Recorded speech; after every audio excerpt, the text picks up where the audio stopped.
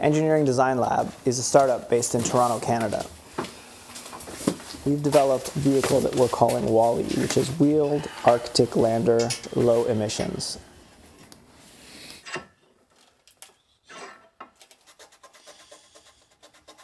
WAL-LE is an amphibious electric vehicle, so it can traverse water as well as aggressive terrain.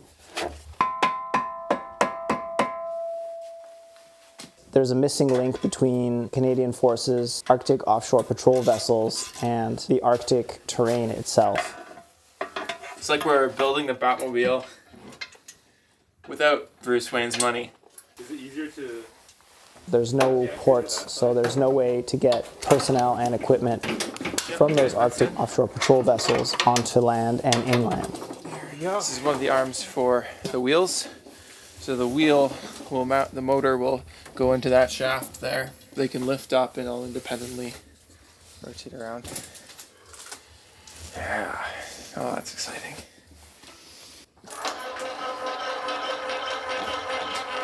What we're building is not just another amphibious vehicle. It's a whole new type of vehicle. The way that it's been configured with independent actuators uh, on the suspension arms allows each wheel to move up and down independently, each motor to turn independently, uh, which gives it uh, new possibilities in terms of how it can move through space. Not only can it swim, not only can it drive, but it could also walk and perhaps even run. Electric vehicles require a lot less maintenance because they don't have a lot of complicated mechanical components that regular 4x4 vehicles have, such as differentials, transmissions, and transfer cases.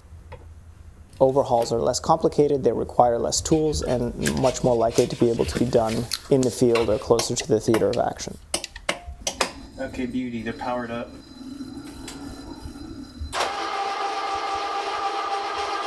I mean, the Xbox controller was. I mostly selected this since uh, it's a quality peripheral, but really we're controlling the system from a separate computer. And we just wanted some sort of standard joystick interface, something that would be quick and easy for someone to pick up. Looks good. Yeah, it's awesome. All black. Stop. Okay, let's stop there. WAL-LE can break down by removing eight bolts uh, on the chassis and allows the chassis and the boat to come apart. The chassis can then become much more narrow with the wheels still attached, uh, is able to be rolled into a shipping container. The boat stacks on top of it, and all the equipment fits inside a 20 foot equivalent unit, which can be closed up and shipped anywhere around the world.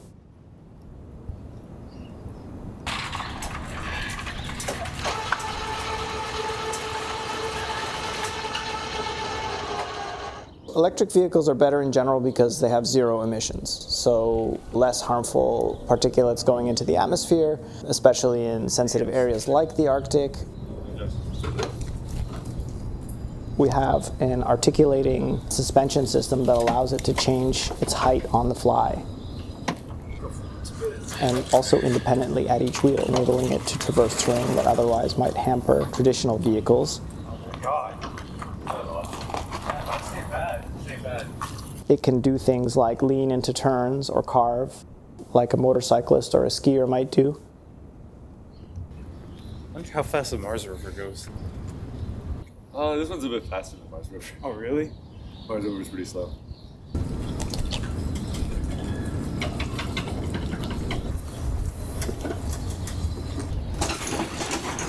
So there's a lot of novel ways to actually move this vehicle through the aggressive terrain we expect to encounter in the Arctic.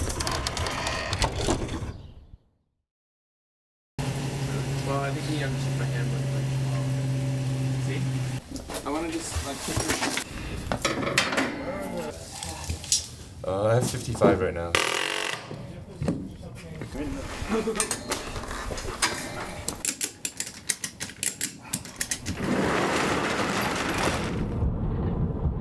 Today we're going to Cherry Beach to test the amphibious vehicle for the first time. So far we've only driven in an alleyway and we want to get it on some real terrain and perform some real maneuvers. I do see the U-Haul over.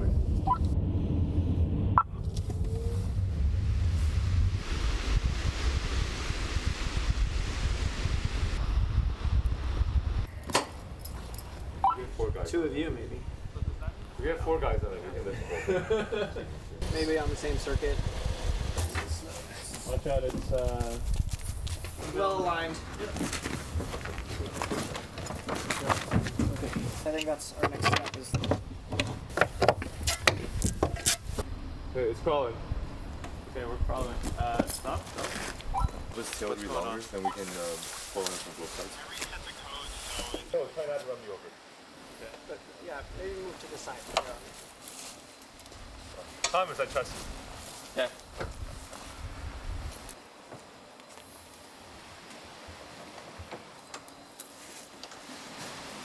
Okay. That's not. That's not bad. There's no uh, longitudinal torque. It's all moment around the center, right? Okay. Okay, give momentum. Right, right, right, right, right. You have to kind of like get it going a little and then turn. Okay. Okay, so it's just low torque.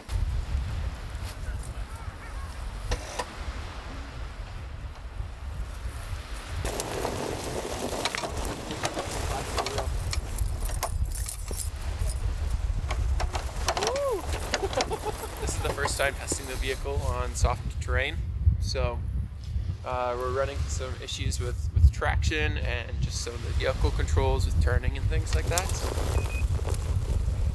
Oh, it feels like about one degree. It's not so bad. Yeah, you can see it's still liquid water out there.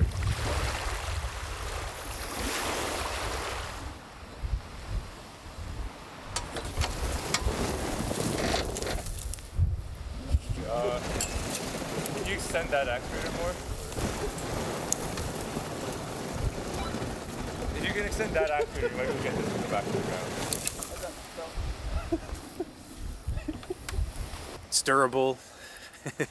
it's fast. It's got it's got the oomph.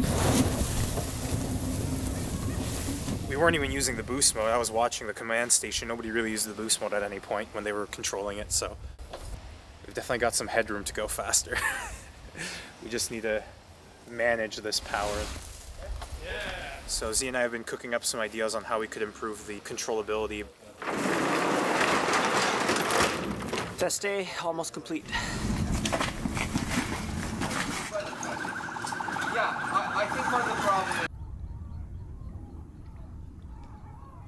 So we're back at Cherry Beach today to test some of the new modifications we've made to WAL-LE.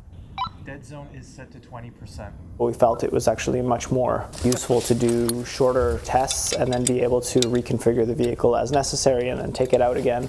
The idea of these ice axes is, is basically gives the vehicle performance as if it had a tire uh, twice or three times the size, able to climb over much larger obstacles. If the vehicle is swimming along in the water and it comes up to a large sheet of ice, getting out of the water could be potentially tricky. If there was a set of claws that could come down and dig into the ice, it could help lift the front wheels up onto the ice, and then the front wheels could gain some traction and help lift the rest of the vehicle onto the ice.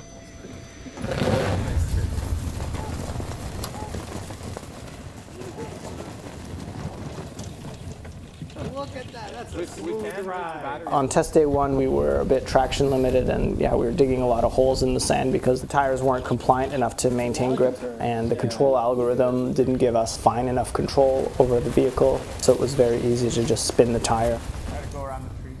The tire that we have now, we're, we're very happy with. We're running it at extra low pressure. We're running it at 0.5 psi. We're not having these problems with digging holes, and it's, and it's so soft you can literally roll right over your foot. You wouldn't even feel it.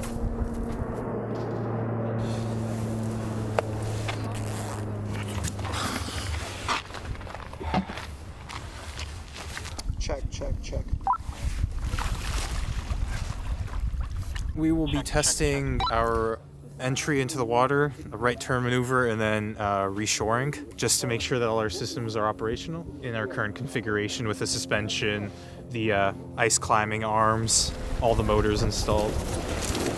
So that's kind of the plan.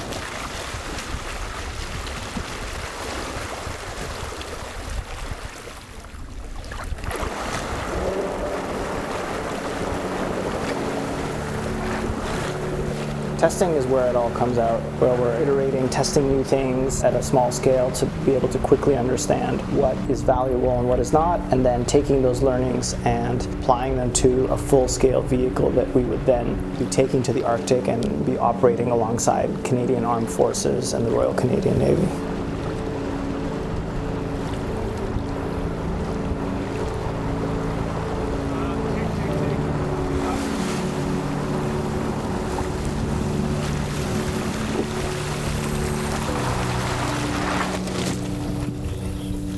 Think we always knew it was going to be fast, especially on land. That part we were able to analyze. Today, uh, after seeing it in the water, we understand that WAL-LE is just as good in the water as it is on land. You really get the best of both worlds.